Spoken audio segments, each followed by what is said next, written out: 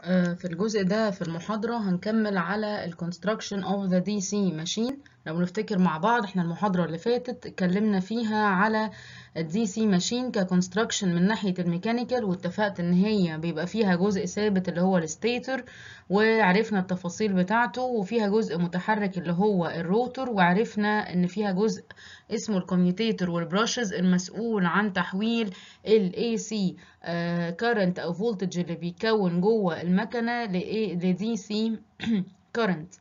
بعد كده هو عرفنا ال construction بتاع المكنة من الناحية الكهربائية إن هي بتتقسم لنوعين من ال windings اللي هما ال field winding وال armature winding واتكلمنا على ال field winding في شوية نقط. آه عرفنا طريقة التوصيل بتاعتها. عرفنا إنها بتكون محطوطة على ال stator بتاع بتاع المكنة. يعني لما باجي أركبها بركبها على الجزء الثابت اللي في ال DC machine بتاعتنا. وعرفنا أنواع المكنة على حسب التوصيل بتاع ال armature winding مع ال field winding سواء كان self excited أو separately excited والجزء الأولاني من المحاضرة بتاعه النهارده اتكلمنا فيها كملنا فيها المعادلات بتاعه ال power بتاعه ال DC machine على حسب النوعية بتاعتها. وعرفنا بقية المعادلات بتاعه ال compound generator وبعد كده هو عرفنا الإثبات بتاع ال EMF induced اللي في المكنة وعرفنا ال torque developed اللي موجود عندنا في المكنة. واتكلمنا بعد كده إزاي النوع بتاع المكن اللي هو ال self excited ومن اسمه كده ان هو بيعمل لي excitation by itself أو بنفسه إزاي بيعمل building up لل voltage وعرفنا إيه ال critical field resistance value اللي بعدها ما ينفعش ان أنا هعمل self excitation أو المكنة مش هتعمل self excitation لنفسها. الجزء ده في المحاضرة هنبتدي ناخد introduction على ال armature winding هنعرف إزاي بتتوصل عندنا هنعرف إيه انواعها وهنكملها المحاضرة الجاية إن شاء الله. أول حاجة عايزين نعرفها إيه هي ال function بتاع ال armature winding أو فايدة ال armature winding في ال DC machine إحنا عارفين إن ال DC machine هتشتغل ك generator أو كموتور. طيب في حالة ال generator ال output voltage اللي بيخرج لي من المكنة باخده عن طريق ال armature winding. طيب في حالة الموتور هتبقى ال armature winding الفايدة بتاعتها إن هي ال input voltage اللي أنا محتاجاه للموتور عشان يشتغل بيكون بدخله عن طريق ال armature winding. طيب تاني نقطة عايزين نتكلم عليها ال armature winding دي بتتحط فين؟ ال armature winding دي أنا بحطها على ال rotor بتاعي أو على الجزء المتحرك بتاعي. وهنعرف بالتفصيل إزاي بنحطها على ال rotor وإحنا زي ما إحنا عارفين إن ال rotor ده بيكون فيه زي slots أو فتحات بسقط فيها ال armature winding بتاعتنا. وبتكون أطرافها زي ما اتفقنا المرة اللي فاتت بتكون متوصلة على ال commutator وال brushes عشان آخد ال DC voltage اللي أنا محتاجاه. بعد كده هنبتدي نعرف شوية تعريفات مهمة جدا عشان أقدر أفهم ال armature winding وطريقة توصيلها في المكنة. طيب أول حاجة إحنا عايزين نعرفها يعني إيه كلمة conductor أو موصل. طيب ال conductor أو الموصل اللي في ال DC machine عندنا هو عبارة عن إيه؟ هو عبارة عن الجزء من السلك بتاعنا اللي بيكون متعرض لل magnetic field وال EMF هتكون بتتكون فيه. طيب لو جينا بصينا للرسمة اللي عندنا هلاقي إن أنا ال AB وال CD دول هما ال conductors اللي موجودين عندنا في ال coil دي وبيكونوا متعرضين لل magnetic field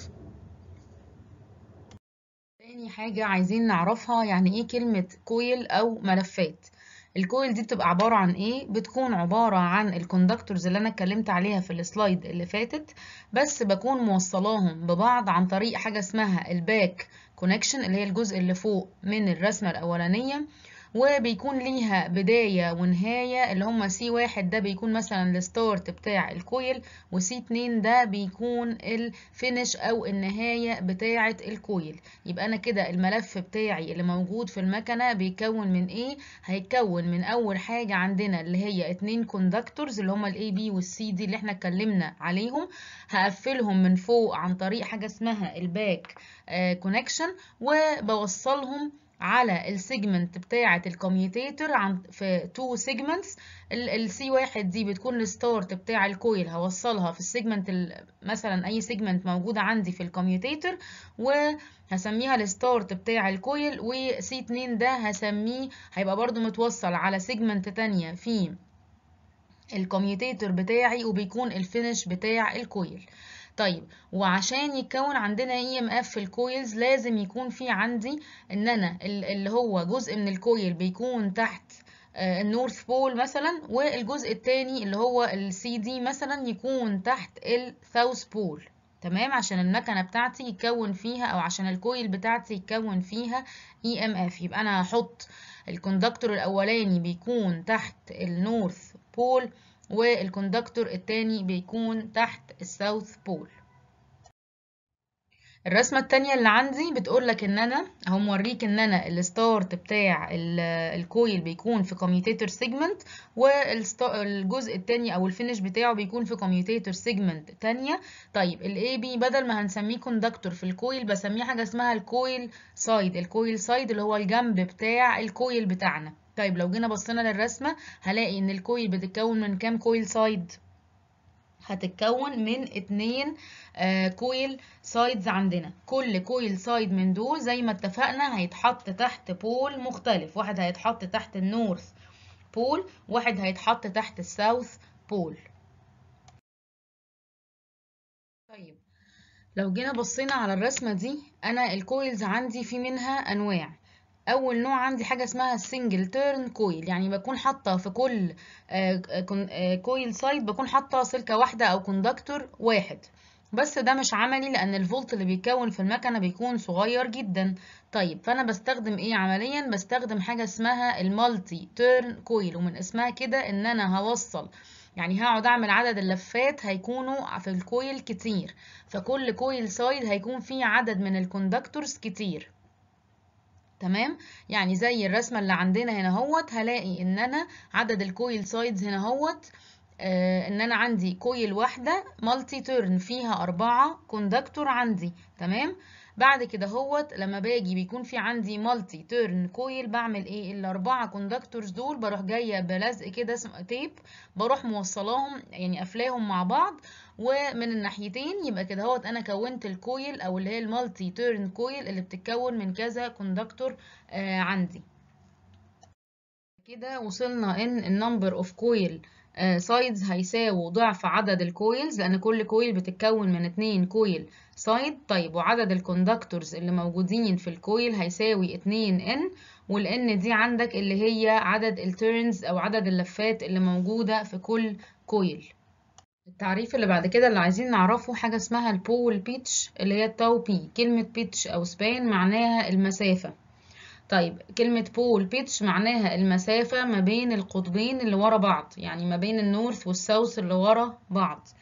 تمام؟ يبقى كده pole pitch يبقى المسافة ما بين الأقطاب المتتابعة اللي هم المختلفين اللي هم ال north وال south المسافة اللي ما بينهم قد إيه. وزي ما الرسمة باينة عندنا هنا اهوت ادي كده عندي القطب اللي هو ال north اللي هو فوق وبعدين ال south اللي بعديه اللي هو على اليمين. هلاقي ان المسافة اللي ما بينهم بتبقى اللي هي ال pole pitch. طب بقيسها بإيه؟ بقيسها بعدد ال slots اللي ما بينهم أو عدد الفتحات اللي ما بينهم. يبقى كده.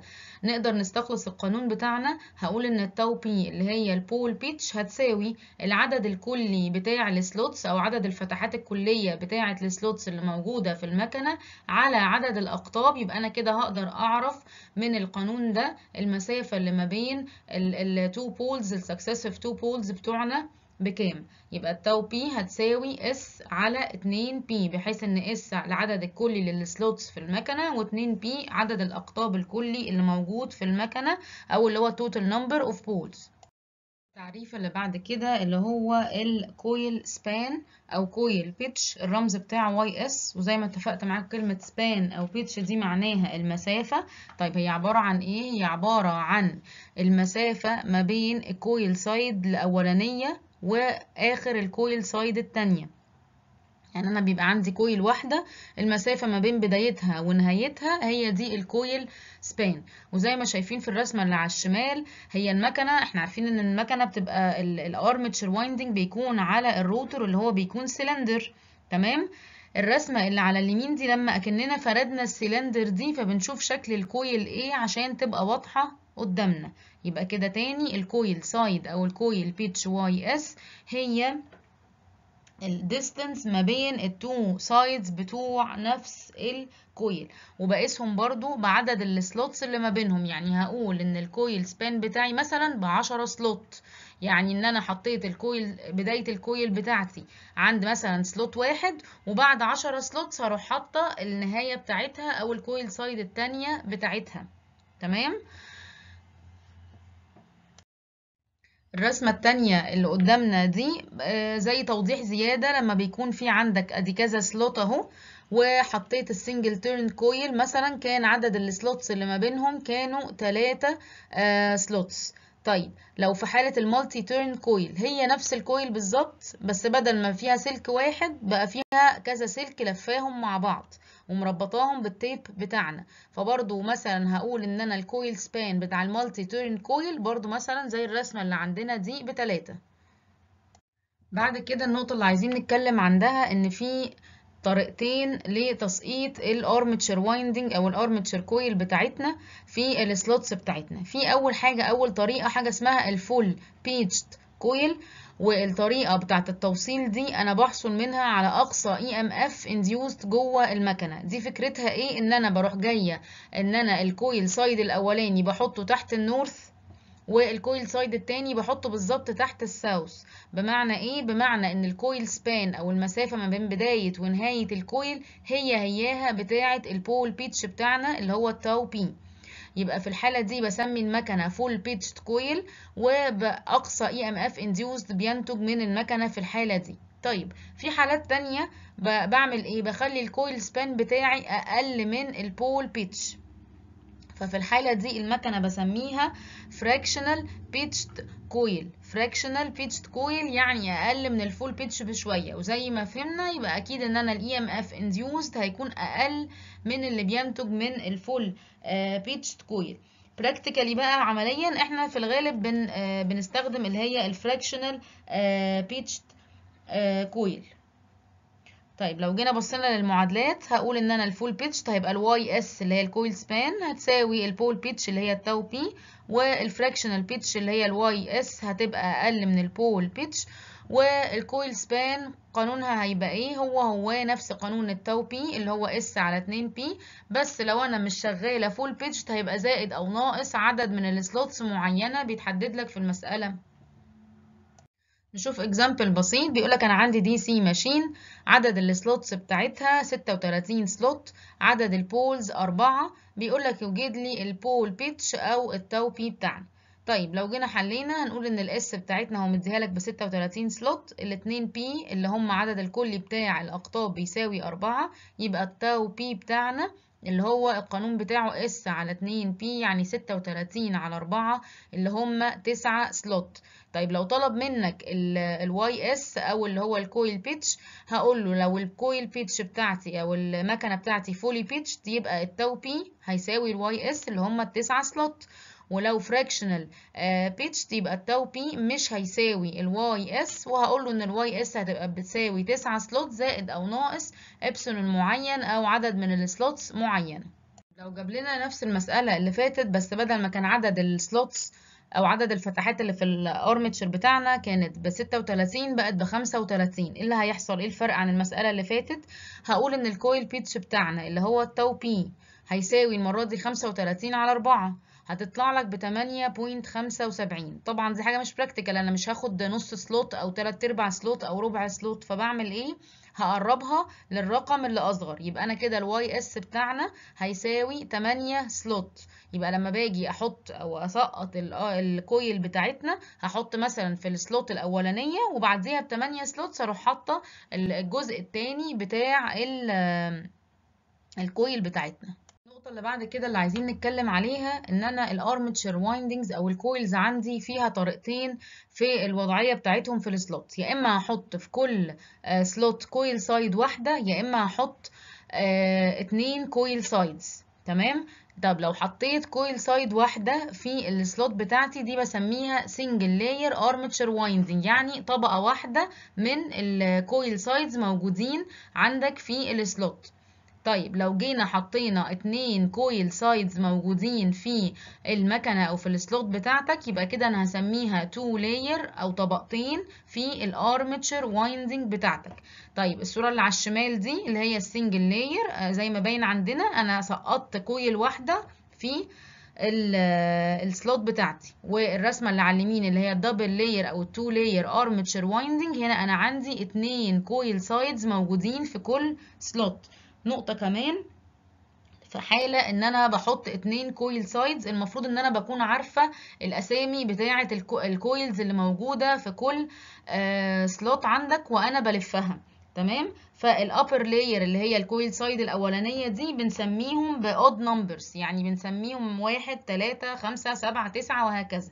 وال layer اللي تحت بنسميها even number بتبقى 2 4 6 والفايدة بتاعتها دي هنعرفها المحاضرة الجاية ليه أنا برقم ال coils بتاعتي آه وأنا آه بسقطهم عندنا.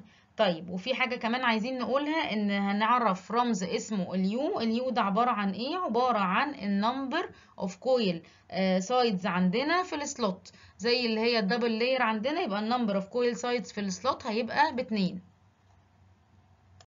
نيجي بعد كده في ال armature winding طريقة توصيلهم على ال commutator كهربائيا بيكون شكلها إيه؟ في عندي نوعين من التوصيل حاجة اسمها ال closed winding وال open winding ال open winding إحنا مش هندرسه إحنا هندرس بس ال closed winding ال closed winding ده في منه نوعين اللي هما ال lap winding وال wave winding هناخد نبذة صغيرة جدا عليهم في المحاضرة دي وهناخدهم بالتفصيل المحاضرة الجاية إن شاء الله.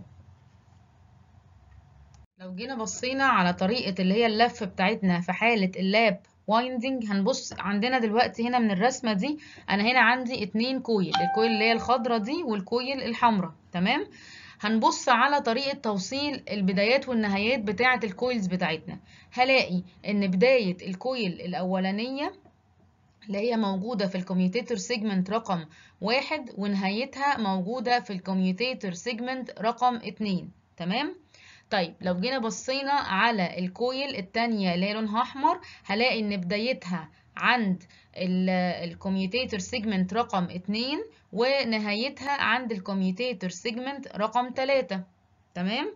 طيب وهلاقي بعد كده إن بداية ال coil الخضراء وبداية ال coil الحمراء هما الاتنين تحت ال north pole.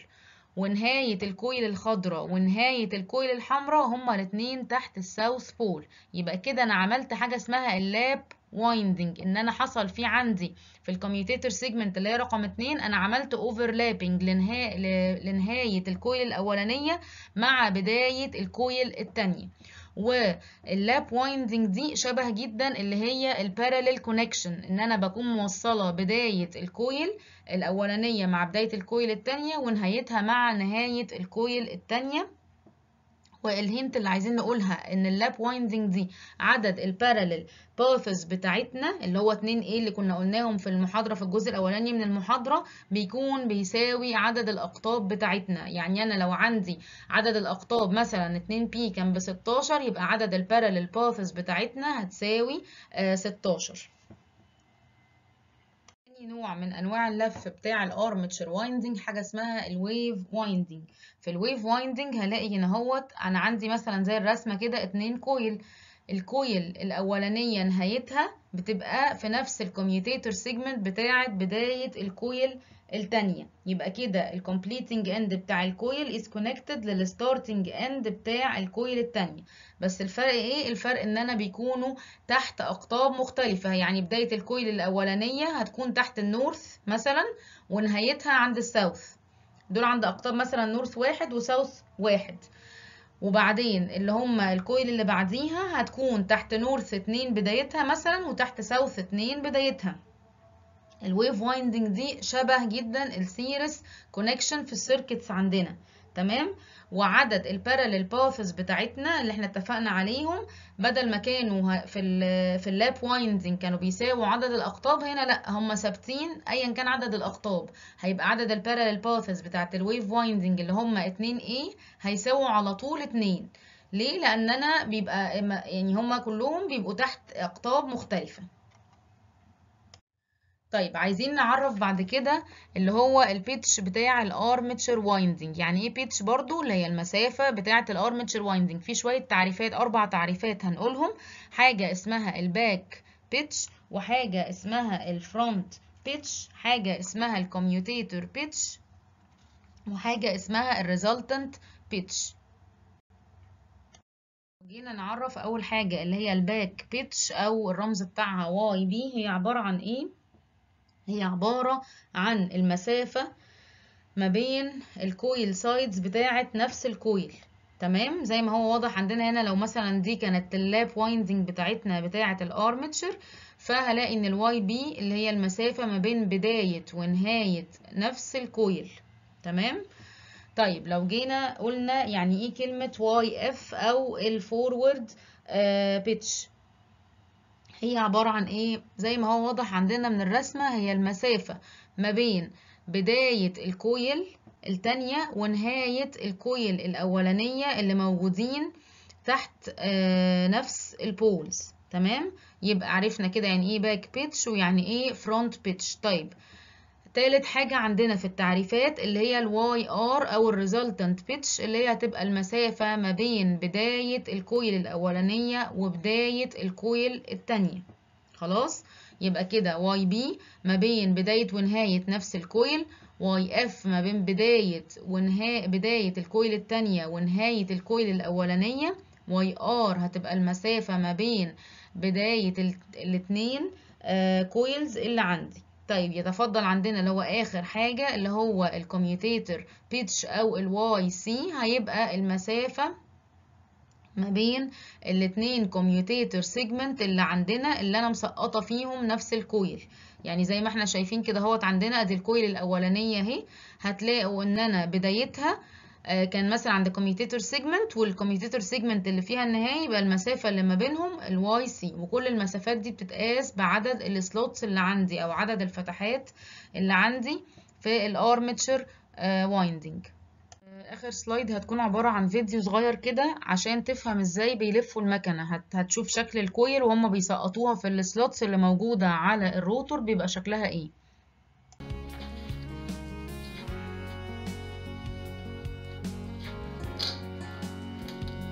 Now we slide the coil into the slot and we connect it to the one we connect the winding to the commutator bar.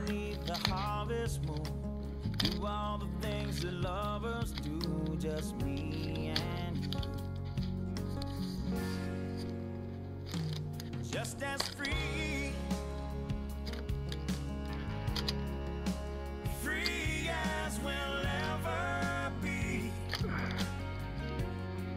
Okay.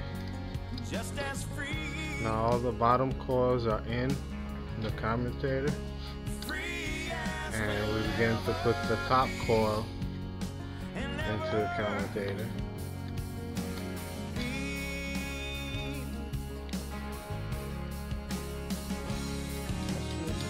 Okay, now all the wire is in the slot and it connects to the commutator.